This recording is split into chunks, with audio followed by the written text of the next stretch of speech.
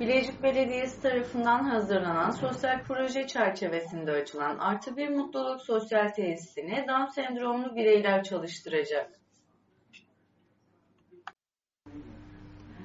Bilecik Belediyesi Milli Egemenlik Parkı yanında yer alan çay bahçesinde gerekli düzenleme ve yenileme çalışmalarını tamamlayarak vatandaşların hizmetine sundu.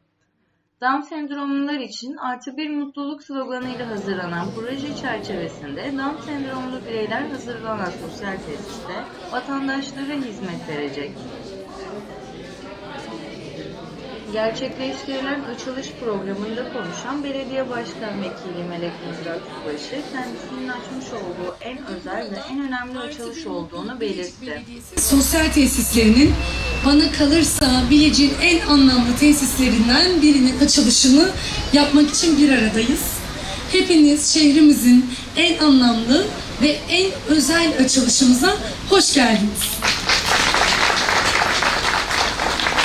Bu tesisimizin kuruluş nedenleri özel çocuklarımızın iş ve el becerilerini geliştirmek, sosyal yaşama entegre olmalarını sağlamak ve aslında en önemlisi onları anlayabilmemizi sağlamak. Bu tür tesis ve projeleri toplumumuzun eğitimsizlik ve bilgi eksikliğiyle oluşturduğu kolektif ön yargılarına karşı bizlerin kurması gereken kolektif bilinç ve anlayışın sahaya yansıyabileceği en güzel ve en verimli bir alan olarak görüyoruz. İşte bu yüzden burada özel çocuklarımızla konuşacak, onların hikayelerini dinleyecek, onların hayat boyu kalp ve yüzlerinde taşıdıkları artı bir fazladan mutluluğu göreceğiz. Bizim için çok anlamlı bir gün. Engelli bireylerin hem sosyal hayata katılımı hem de istihdam e, hakkı için çok anlamlı bir proje. Birçok ilde e, var, ilimizde de artık böyle güzel bir kafemiz var. Engelli bireyler kendi e, yeteneklerine göre çalışabilirler, para kazanabilirler, paralarını özgürce harcayabilirler. Bu her insan gibi engelli bireylerin de hakkıdır.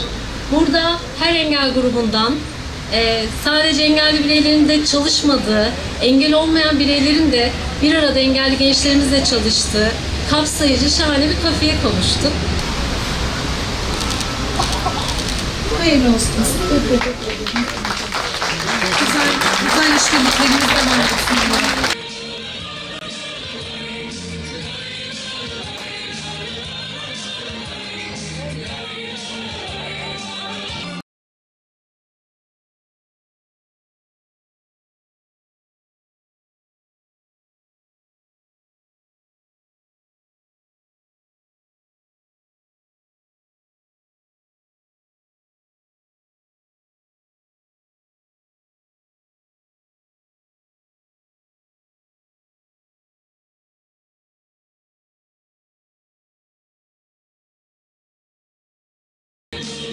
Şehirli bahçeler vardır. Yalnız cumaları, yalnız pazarları. Hadi şimdi biz bir peri masalı dinler gibi seyrederiz